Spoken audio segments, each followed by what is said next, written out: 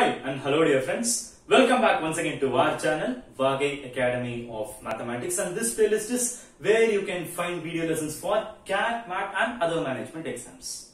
This session we have an interesting question from the concept of numbers and let's directly get into the question. Find the last two digits of the given expression. So we are asked to find the last two digits of the expression so of course we have a very lengthy expression given here. So we have a product and uh, which is uh, raised to whole square, okay, raised to the power 2. So this is going to be a question.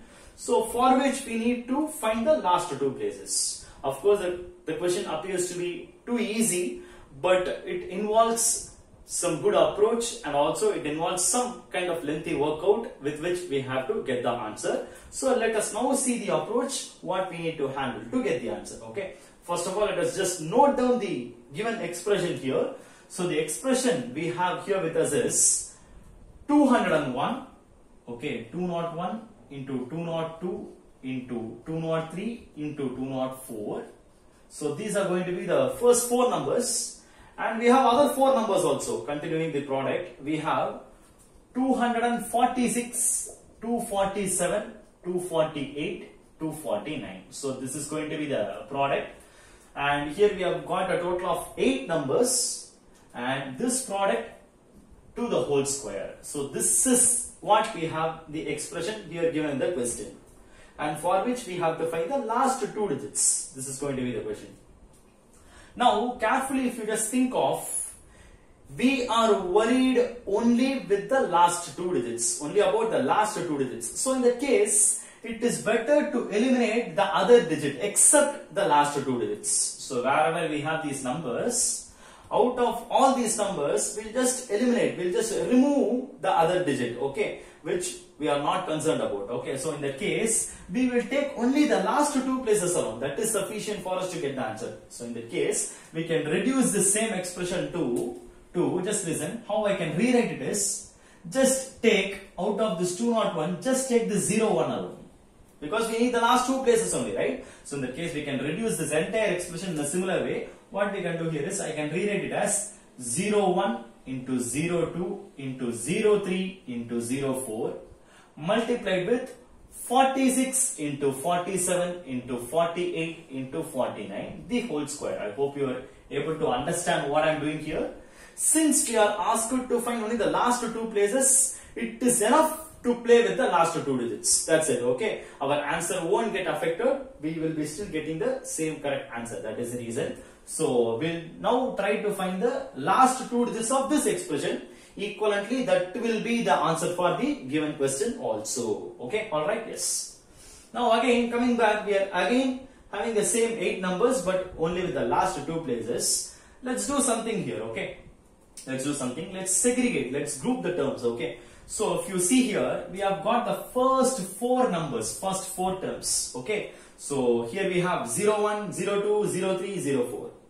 Now I think this case it would be very easy for us to get the last two places, right? Since our numbers are too easy, we can directly multiply these numbers because we have only small numbers here, right? So it is like 1 into 2 into 3 into 4. So what about this product? It will give you 3 4s are 12, 12 2s are 24 and 24 1s are is 24. So that means this will simply give you 24. Okay. So the first four numbers when grouped that is giving you the product 24 and of course that becomes the last two digit itself. Okay. For this group the last two digit is going to be 24 only. So no issues with that. So 24 here multiplied by multiplied by now comes the challenge okay. Now we have we have the other four numbers here 46 47 48 49 so those numbers are to be multiplied for which we need to find the last two places that is going to be a quite big challenge. So let's do that carefully okay? Now what i will do here is let me just make a small space here so that uh, the answer what i get for this one i will note it here okay?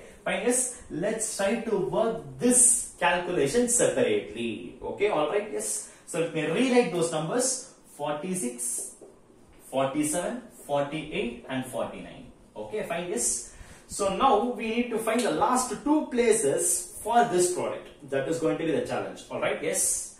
Now if you see these numbers, we can rewrite them as, we can rewrite them as, see these numbers, they are much closer to the round number 50. Right? Yes, they are all much closer to 50, right? So in that case, what I will, I will try to do here is, let me rewrite these numbers something like this, okay? Just, just look at it carefully. So this 46 I'm going to write as 50 minus 4. Next, this one, 46, this 46 is written like this, for 50 minus 4. This 47, I'm rewriting it as 50 minus 3. Next, this is 50 minus 2, and this is 50 minus 1. Okay, fine, yes. Maybe it, it looks in a cool way, that is the reason I'm rewriting like this, okay. Now, now, continue this. So now if you see, we have rewritten these numbers like this. Now, if you play with this expression, it would be more easy for us to find the last two places. That is the reason. Okay, alright, yes. Now, we have got four terms here. Again, let me group the terms. I will take the first two terms and next the last two terms. I will take it like this. Now, when you try to multiply the first two terms, what happens? Can you just see here? This will simply become, this is like two numbers. I mean like uh, they are like two factors of a quadratic expression. Is it or not? So 50 minus 4 into 50 minus 3. This will simply give you 50 square minus 50 into what about 4 plus 3 which will be 7 minus, I'm sorry, it will be plus because minus 4 into minus 3 will be 12. I hope you understand this, okay? There are two, uh, like two factors they get multiplied which is what I have expressed here. So it is like x square, 50 square minus x into the sum of the, uh, it is like the, those two numbers are like the roots, okay, 4 plus 3 which is what is this 7 and minus 4 into minus 3 which is giving you this plus 12, okay. Repeat the same process for the next two terms also. Here what we get is, here again if you carry the same process, you here 50 minus 2 into 50 minus 1, here you will be getting 50 square minus 50 times of, uh, this will be 2 plus 1 which will be 3 plus plus 2 ones are 2. So this is what you will be getting here. So continue this process, continue this process. Again, what I can do here is, again we will just worry about only the last two places, right, okay? So in that case, we can eliminate this 50 square and 50 square. Anyways, 50 square is going to be 2500. The 2500 last two places, it is going to be again double zero, is it or not? So that will not uh, make our uh, problem to be, uh, I mean like it won't give you any change there. For that reason, we'll just eliminate that. We'll worry about only the expressions where the last two digits involve make the change, make an impact. That's it. Okay. So now when you come here, we have 50 into 7 plus 12 minus 50 into 7 plus 12 minus 50 into 3 plus 2. This is all we have here. So in this case, we'll carefully work it out. Again, I can make a quadratic thing. Okay. So if I want to be more precise, what I will do here is, I will just try to uh, do it something like this. Let me try to do it like, uh, uh, here we have uh, like like we can even play it like this right? Because minus 50 into 7 will be like uh, minus 350 right? So it is like again minus 50 plus 12 and again continue here. Minus 50 into 3 will be like minus 150 it is like again minus 50 plus 2 okay let me make it clear so that uh, it won't confuse you much. Let me just uh, uh, repeat the process what I have uh, tried to do here. Here it is minus 50 into 7, is it or not? So minus 50 into 7 will be minus 350. Again from that minus 350, I am removing that 3, the 300, okay? Why? Because I am I am very much care, I'm just caring about only the last two places. For that reason is what? From that minus 350, I'm removing that uh, 300 taking only this minus 50 okay? Same thing i'm doing here. From this minus 50 into 3 which is going to be minus 150 i'm worried only about the last two places which is what is this minus 50 simple okay? Now again continue again continue. We have again a quadratic form. So now when you again multiply this you will be getting minus 50 square.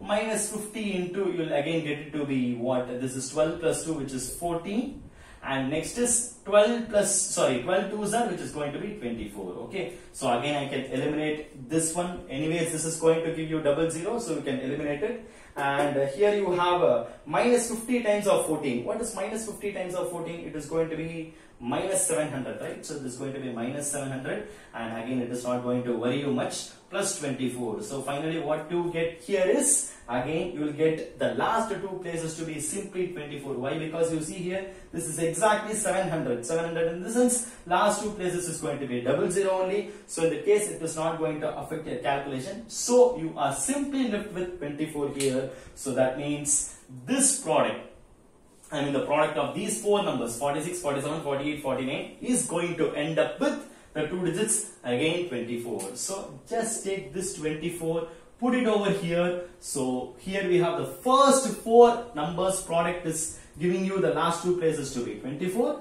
We have taken it. And again, after all these calculations, the last two places of this product, this is again giving you the same 24. We have noted it. So our question now simply becomes 24 into 24 the whole square. Okay. Now we are worried only about the last two places of this simple calculation. This won't be much complicated for us. So hereafter we can carry out and easily finish off the problem. So 24 into 24 the whole square. This is what we have, right? So basically what is 24 into 24? 24 square. It is going to be what? 24 square is going to be 576, right? So 24 into 24 is going to be 576 and of course this will give you, okay, maybe if you want I will separately note it down. 24 square is going to be 576 and again since we are worried about only the last two places, it is enough to consider only this last two places which is 76. So 76 square that will what comes uh, that will only come here. So 76 square and final stage last one more step we need to do.